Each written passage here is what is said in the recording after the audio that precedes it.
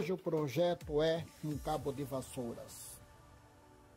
Ah, essa mangueira eu achei no lixo para fazer a conexão aqui do cabo de vassoura. Vamos ver, vamos marcar e vamos serrar uma serrinha dente miúdo.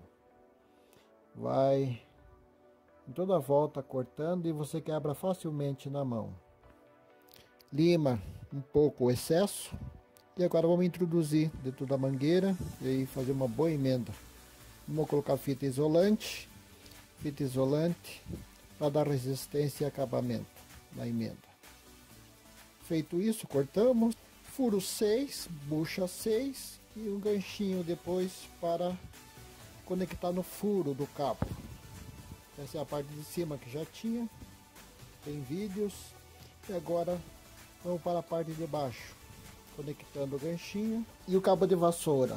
Agora as argolinhas para a cortina correr. Estou colocando uma a uma. Então.